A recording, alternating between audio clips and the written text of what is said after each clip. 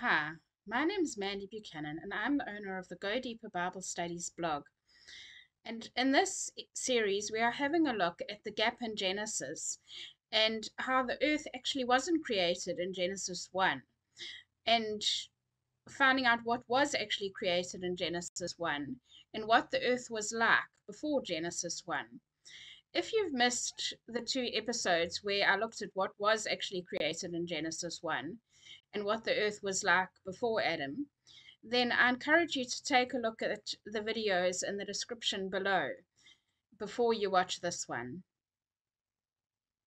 In today's episode, we are going to be looking specifically at the destruction that came upon the earth before Genesis 1. And to understand this, we first need to understand that when God created anything for the first time, he created it good and perfect the things that he created in Genesis 1, the animals and man, when it's when we told how God created them in Genesis 1, it always says, and God saw that it was good. So we know that on principle, when God creates something, it is good.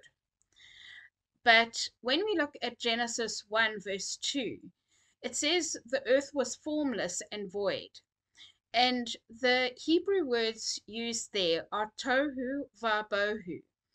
And those words together are used three other times in the Bible.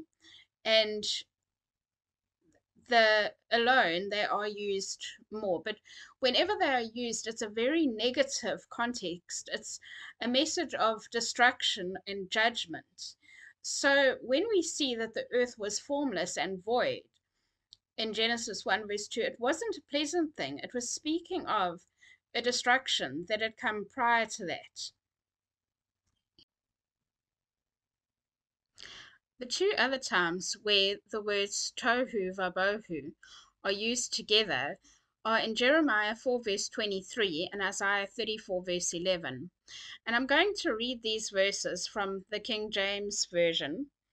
Jeremiah 4 verses 23 says, I beheld the earth, and lo, it was without form and void and the heavens, and they had no light.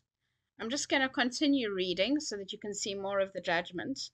I beheld the mountains, and lo, they trembled, and all the hills moved lightly. I beheld, and lo, there was no man, and all the birds of the heavens were fled.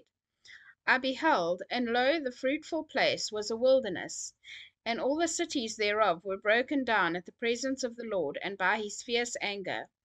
For thus says the Lord the whole land shall be desolate, yet will I not make a full end. For this shall the earth mourn, and the heavens above be black. Because I have spoken it, I have purposed it, and will not repent, neither will I turn back from it. The whole city shall flee for the noise of the horsemen and the bowmen. They shall go into thickets and climb up upon the rocks. Every city shall be forsaken, and not a man dwell therein. And we see here Jeremiah 4 is very similar to to Genesis 1. The, the sky was dark, the man disappeared, and the earth was completely destroyed. And I'll read in Isaiah 34, verse 11. But the cormorant and the bittern shall possess it, the owl also and the raven shall dwell in it. And he shall stretch out upon it the line of confusion and the stones of emptiness. That confusion and emptiness are tohu vabohu.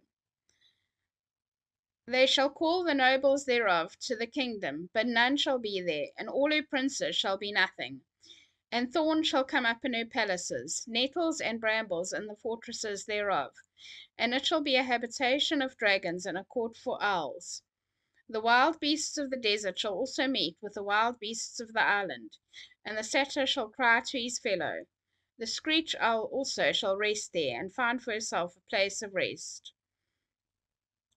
And we see in both of these instances that it it was a time of destruction.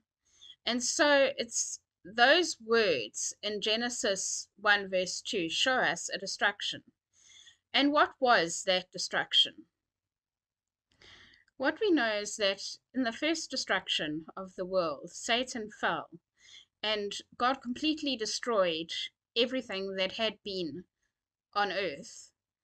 But he, he left the core of the earth intact. The earth was still there, but it was overwhelmed with water. Because we see in Genesis 1, verse 2, that the Spirit of God was hovering over the waters. So you can see that there was a great flood. And this was even bigger than Noah's flood because it completely destroyed everything on earth. There, there weren't even any people left. Whereas a Noah's flood, at least Noah and his family and all the animals that he took with him survived.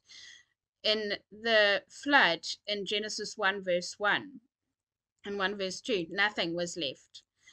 And we also see evidence of that flood in 2 Peter 3, verses 6 it says, Whereby the world that then was, being overflowed with water, perished. But the heavens and the earth, which are now, by the same word, are kept in store, reserved unto fire against the day of judgment and perdition of ungodly men.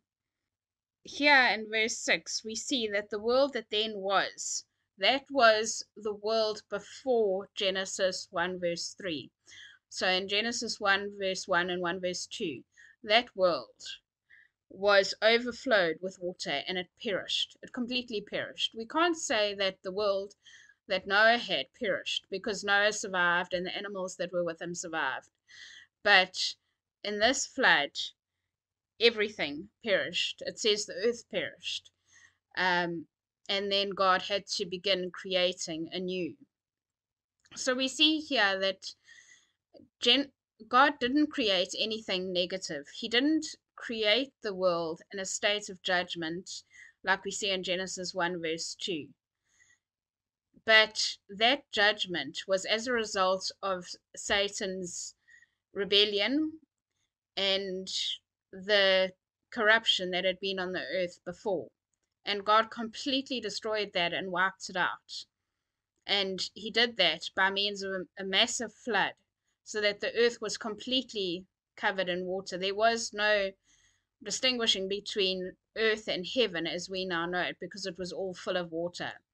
And then in Genesis 1 verse 3, God began recreating it and he, came, he allowed the dry land to appear out of the water and, and started recreating man, recreating the earth for man.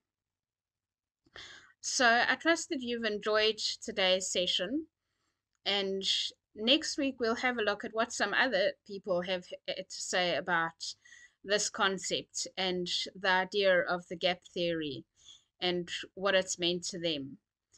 And yeah, I trust that you'll join us for that as well, and we look forward to seeing you then. Thank you and goodbye.